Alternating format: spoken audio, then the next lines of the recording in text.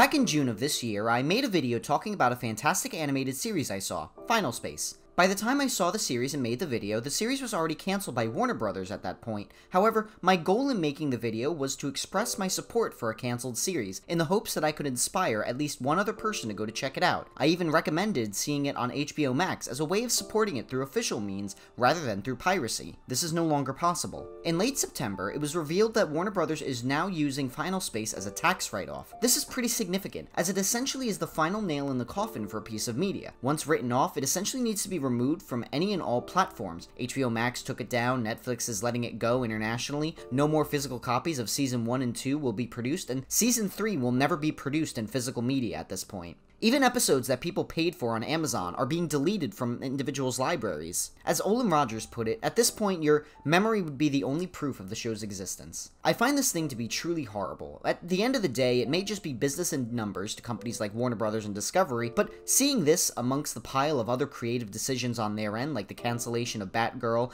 and the Batman Caped Crusader series, as well as the Amazing World of Gumball movie being pulled from their schedule, now forcing them to look around for other outlets to host their content. Or heck, just look at the the recent HBO Max purge of general series. Now, perhaps I can't speak for the business side of things, but I certainly feel for the creators, since it really shows how a project they're passionate about becomes the plaything of faceless corporations. That's not to say all content is good content or deserves to continue just because it has passion behind it, but what I think it does display is the transition of what is a creative endeavor into a product. One is driven by an individual, and the other is a commodity belonging to a company. And it's unfortunate because at that point, the creation is no longer in the hands of the people who started it. And nowadays, you see these types of things happen more and more often. However, that's getting a bit beside the point, and perhaps a discussion of creators versus companies is worth visiting another day in depth. So let me loop back to Final Space and talk about what Olan Rogers is up to currently. He's definitely doing his best to bounce back, and still saying he won't give up fighting for the characters in the world that he's created just yet. Over the summer this year, Rogers launched a new Kickstarter project for a new animated sci-fi short called Godspeed, speed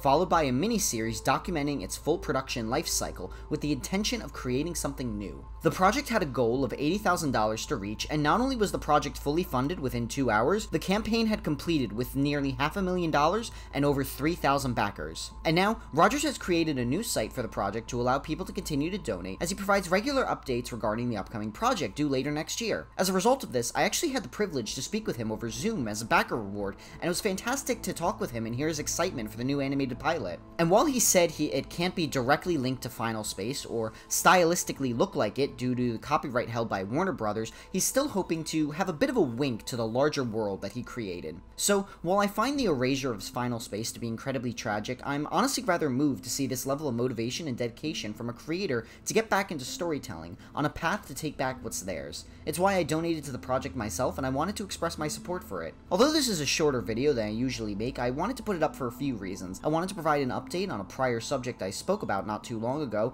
on a video that did decently well by my own YouTube standards, and I wanted to provide an alternative way for people to support the creator, as now it seems like taking the high seas is the only way to access Final Space content nowadays, and it's the only way to prevent it from becoming lost media. At the end of the day, this is also why I strongly suggest people who are passionate about created works to not shy away from collecting physical media of franchises you enjoy, because you never really know when something else could be inevitably lost as a result of corporate decisions or if companies try to start removing and modifying digital content. If you're willing to support the production of Godspeed, I'll have a link to the website in the description below where all the backer goals from the Kickstarter are still available for purchase, including personal one-on-one -on -one consulting sessions like I had the opportunity to partake in. Unless, you know, you're watching this in the future where the pilot has already made it out, in which case I'm sorry, but you're probably too late to back on that one.